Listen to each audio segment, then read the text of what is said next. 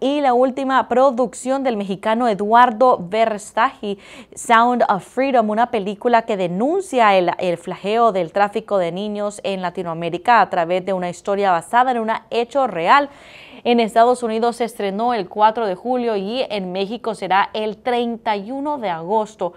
Distribuida por Angel Studios, la cinta trata sobre un agente federal que logra salvar a un niño de los traficantes, pero su hermana sigue cautiva. Se embarca entonces en una misión peligrosa arriesgando su vida para liberarla de un destino peor que la muerte. La película está dirigida por Alejandro Monteverde y protagonizada por el actor Jim Caviezel, quien cuenta la historia de Timothy Ballard, un agente federal que renuncia al Departamento de Seguridad Nacional, DHS, para salvar a niños de los carteles y traficantes de Usted aún no tiene la oportunidad de ver esa película en algunas salas de cine de Arkansas.